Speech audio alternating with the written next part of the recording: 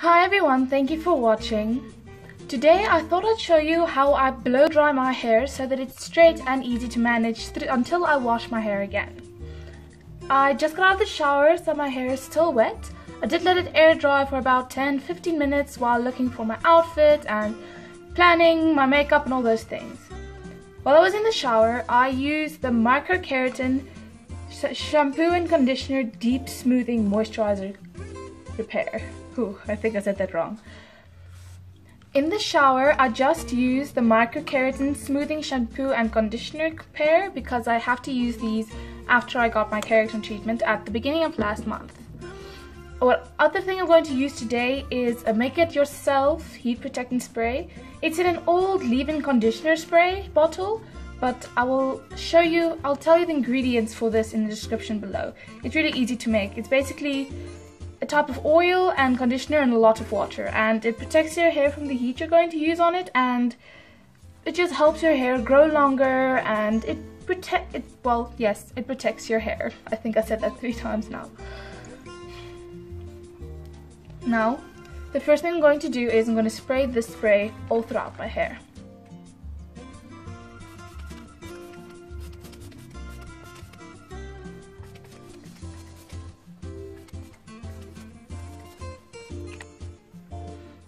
The next thing I'm going to do is I'm going to section off my hair here from the top of my ears to the back and I'm going to tie up the top piece with an elastic just to keep it out of the way while I blow dry the rest.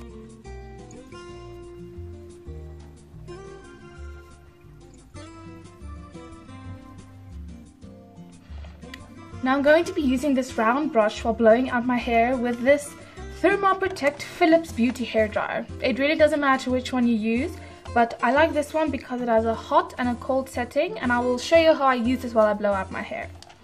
So all I'm going to do is I'm going to keep the hair dryer in the hand on the side that I'm working on and I'm going to use the other one to use the brush, get it in under my hair and curl it up and away from myself and drag it down as I blow my hair. So I'm going to put this on the highest setting, I'm going to just catch this under my hair, I'm going to drag it down and make sure I get all my hair I'm going to swap hands because trust me, that's a lot easier. And I'm going to repeat the process on the other side.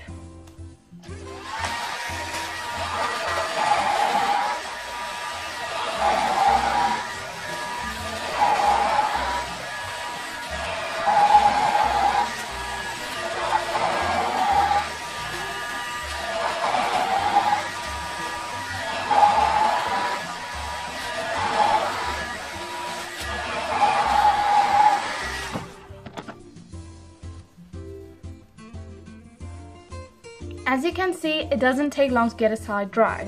Now that I'm done with this part, just to cool the hair down after using the heat on it, I'm going to put on the cold setting and just go through it once again.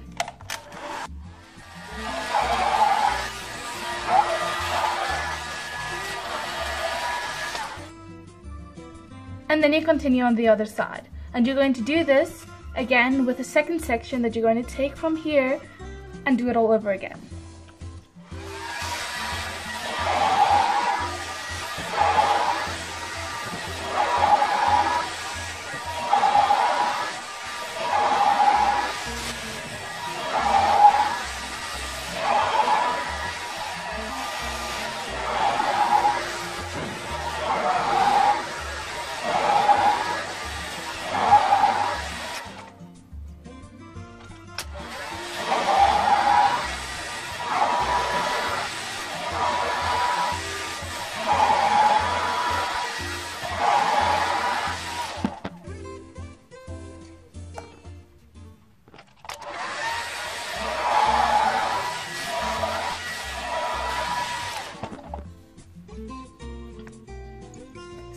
I miss a spot at the back, so to make sure I get it, I take my hair to the back, just take pick up the middle piece in my hand, flip the other hair out of the way, and pull it to the side before blowing over it again, just to make sure everything is dry from the sides to the back.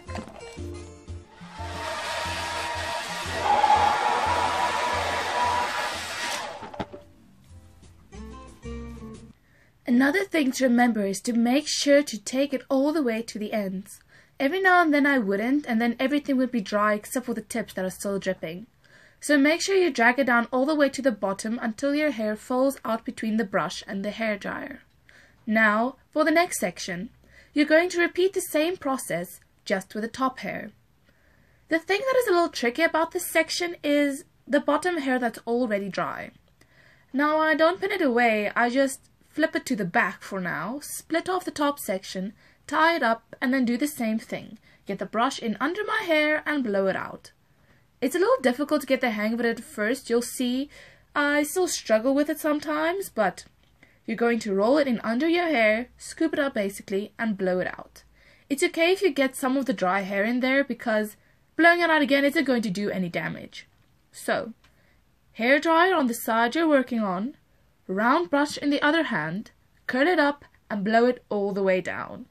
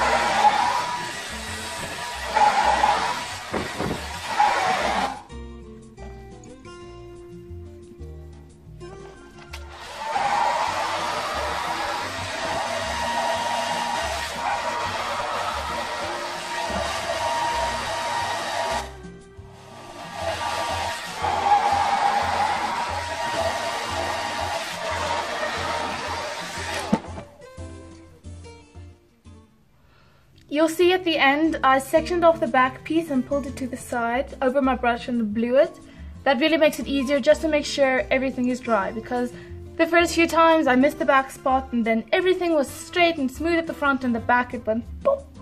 So make sure you get that part.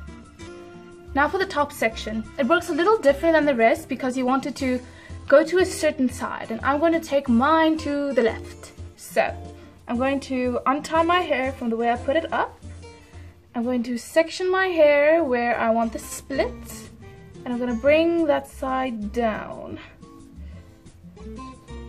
Just brush it to the side and then tie the rest up to the other side. I want it a little bit more to the side.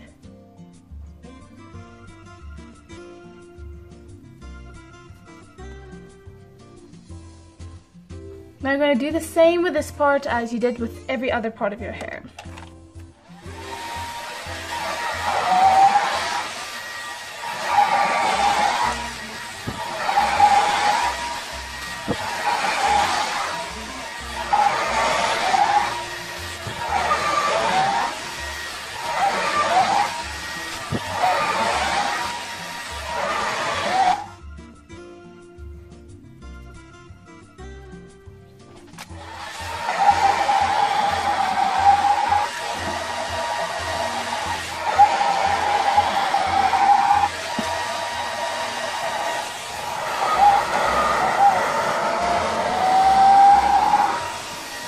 Now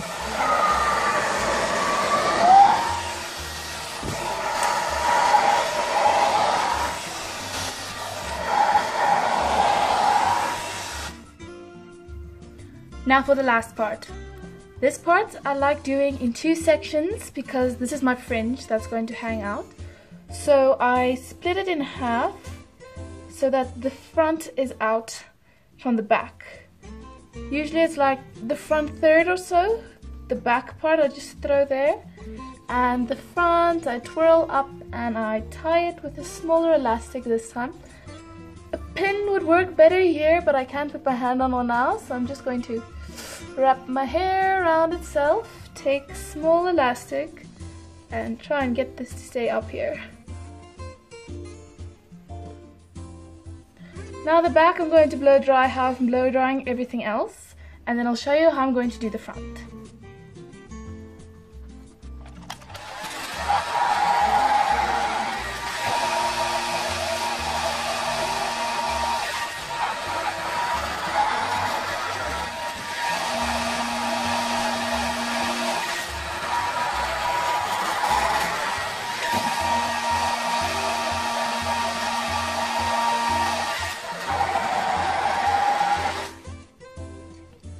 Now finally for the last part. I'm going to throw all my hair back and then bring down this front piece.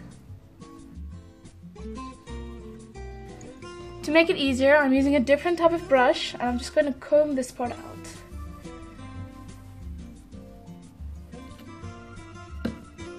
I'm going to tie the rest back so that it's just out of the way for now.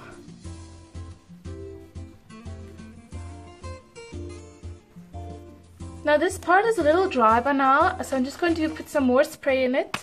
So, because it doesn't help you blow it dry to try and straighten it out if it's not wet to begin with.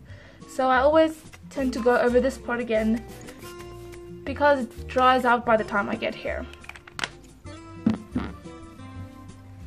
Now, I'm going to take this brush and instead of just getting it under and taking it down to the side, I'm taking this front part to the front of my face. I'm going to be blowing it in that direction and I'm going to then take it to the side with the rest of the hair and blow it out that way.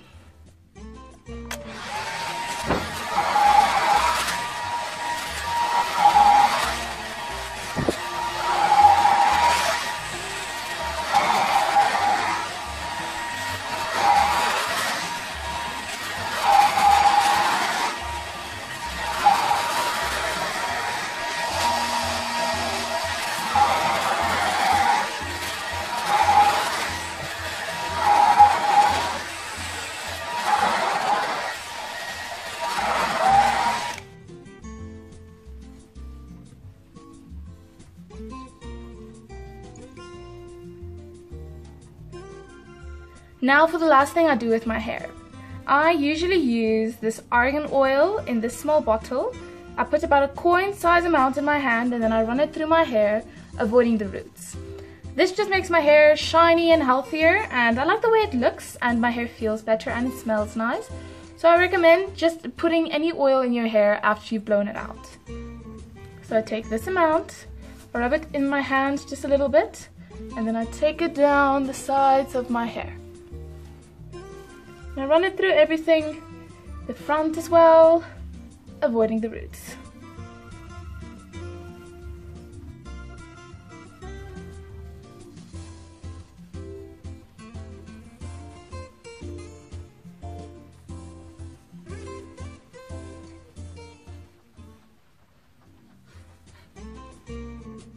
And that is it for how I blow dry my hair. I hope you picked up a few tips and tricks and that if you try this out, it works for you too.